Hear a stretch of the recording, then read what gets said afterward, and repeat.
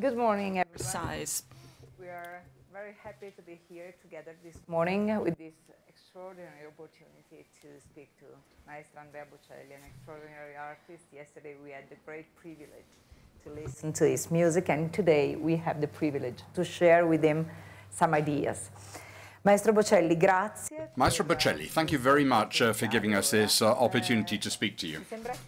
I think that what's interesting is uh, that we are meeting here today to talk about opportunities, particularly for those who have to overcome difficulties and barriers in life. But I didn't want to talk about barriers. I wanted to speak about an extraordinary story, which is your story, and which uh, will help us uh, to understand what it means to, to address life uh, in a different uh, way and uh, to be able to uh, turn problems into opportunities. I think that you have actually faced nothing but challenges, but I think uh, that uh, they were challenges for you since you were a kid, because challenges uh, were you for you that you really wanted to overcome. Is that true?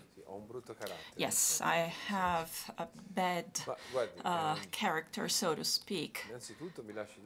First of all, let me say that I am a bit surprised every time I see a large audience that comes to listen to me, but I'm even more surprised when there are people that come to listen to what I say.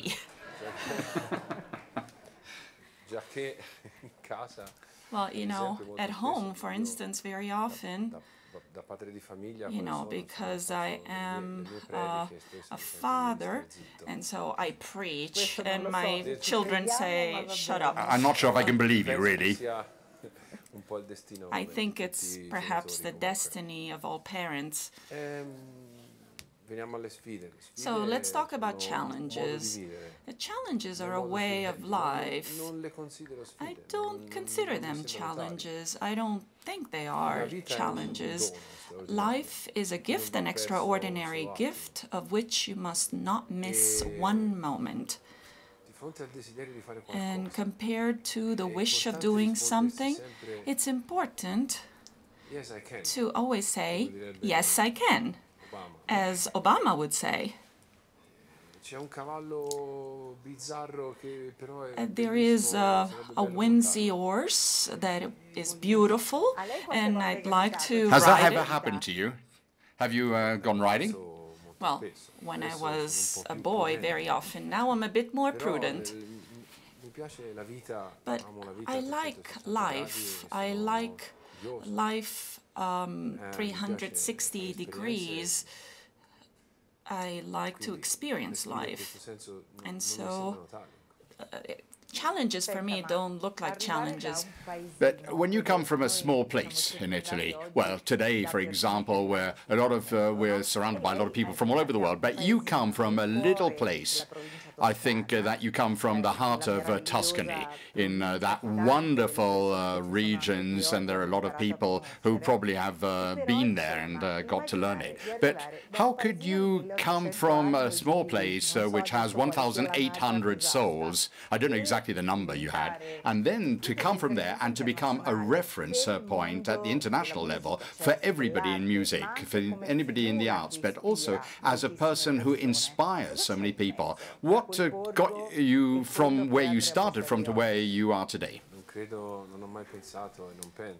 I never thought, and I don't think that it's important to be born in Manhattan or in the center of Rome to do something interesting in life.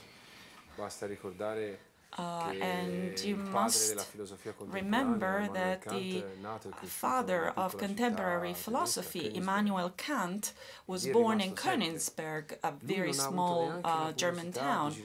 He didn't. He wasn't even curious to travel the world he was so um, tied to his habits that people would set their clock when he walked by because he would always be in the same place at the same time. And this is very insightful. It teaches us that within us there is a universe, a world that could be exported, could be uh, a gift And it's not important, as I said, to be born in a large city or in a very stimulating place. I believe it's important to find within ourselves the wish to live, the desire to do things, to make, create things. This is important. To be happy, you must create and give a meaning to life. But don't you think that uh, along the path of life, what is also important is to have opportunities to do things, because what every one of us would love to do that uh, also means uh, how many people are going to be involved also, but there are other factors uh, which influence in all our, our, lives, which make a particular approach uh, possible or not. Well, missing opportunities, which is the reality for many people around the world, uh, consists in the presence of unsurmountable obstacles. So the task of each one of us and of foundations and of governments is that of creating opportunities, the same opportunities for everybody, and basically um, be able allow people to overcome obstacles. And that's precisely what you're trying to do, I suppose, with your foundation, with the work uh, that you're doing uh, in the foundation all over the world. Yes, the foundation was created for this task, that of creating opportunities for people who don't have them, recreate opportunities for those who don't have them, and help as much as it's possible. Of course, the foundation is a very complex organization. There is the goodwill of many people at work. And within the foundation, sometimes I feel as a character in a Dostoevsky novel. Maybe many of you read Demons by Dostoevsky. This book the main character is Nikola Nikolaev Volodovich, is a character that doesn't have any special quality. He is only a man who attracts people's attention. And so he is chosen, and everybody wants them, wants him with them to do things. So that's a little bit the way I am. I'm not able to do anything in particular. God gave me the wish, the, the, the gift of attracting the attention, maybe. Now, you say you're not uh, capable of uh, doing anything. That is an understatement uh, that we listen to, but we find difficult to believe in it. Well, you know, to be in tune is not so extraordinary. I imagine almost everybody is. Well, I uh, am a journalist, and I could say, well, uh, Maestro uh, Bocelli has just said uh, that he's tone deaf. Would you believe that?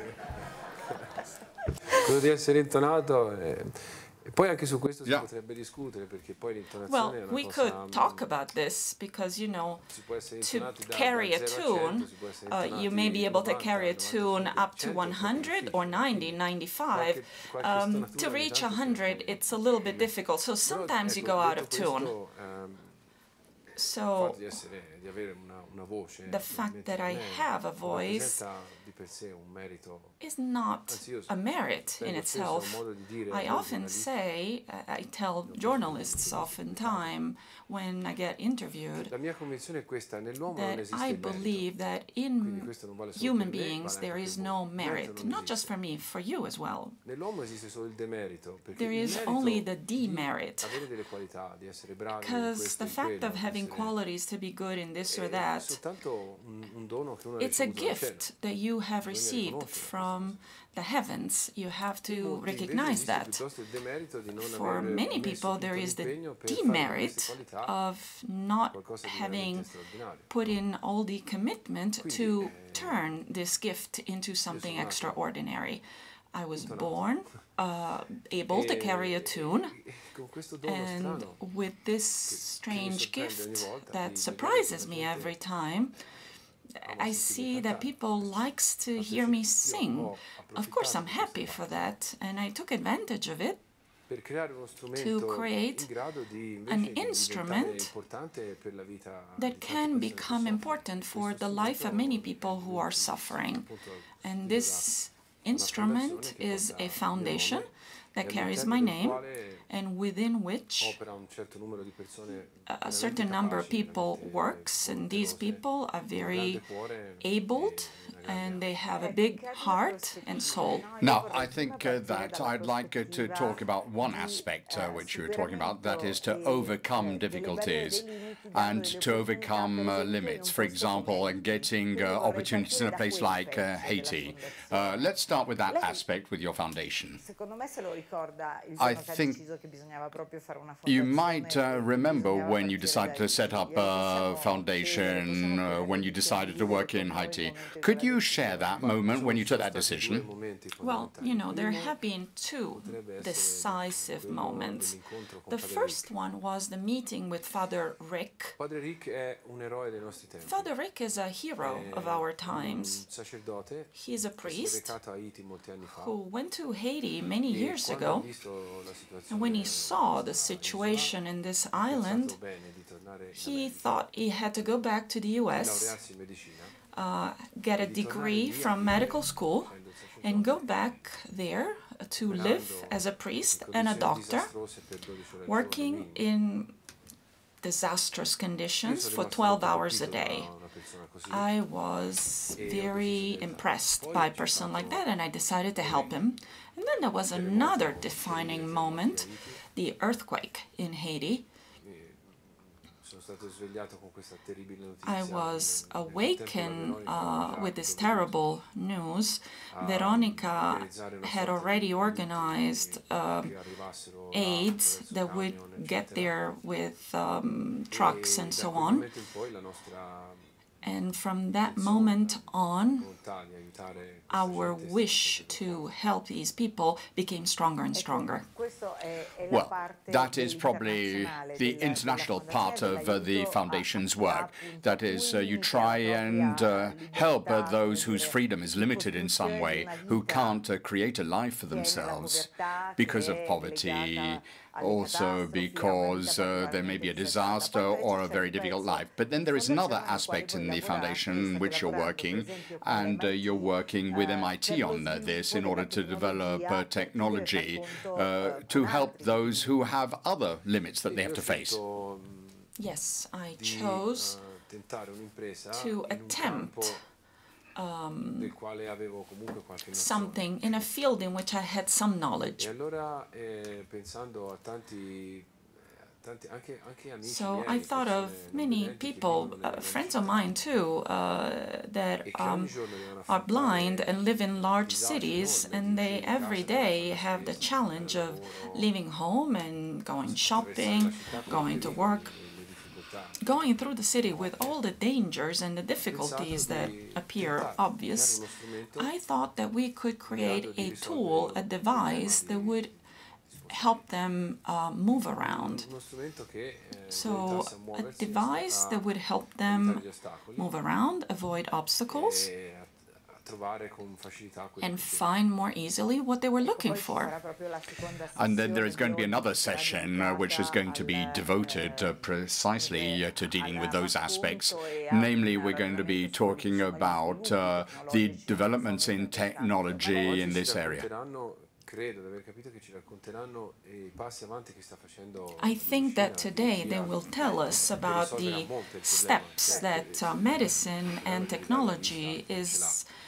making uh, for giving the um, sight back to those who don't have it.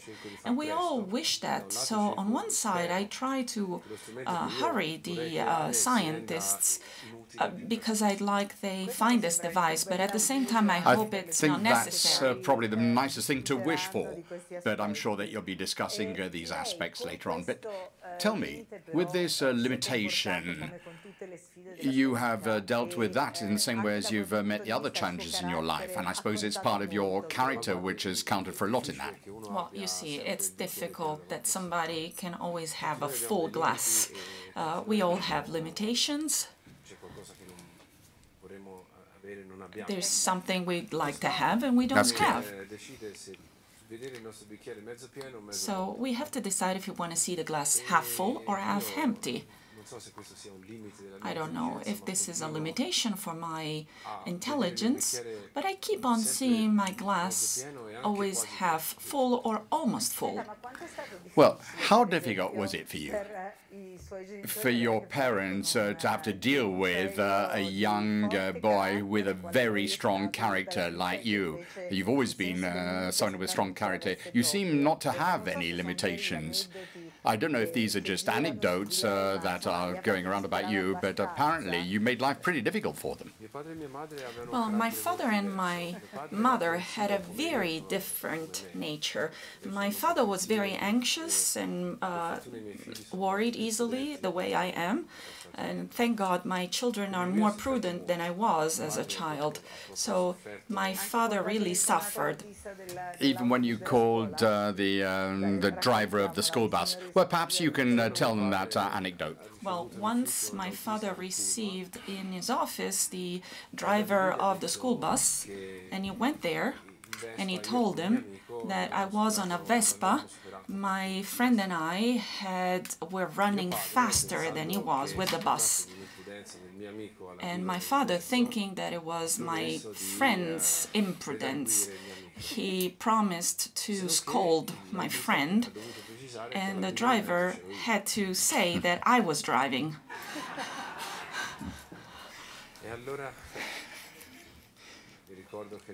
And so I remember that evening, I went towards my father, I greeted him, and he pretended not to know me. So I wondered what had happened. I didn't even think of that Vespa thing. So, of course, I took a, a lot of uh, swear words for, for a while.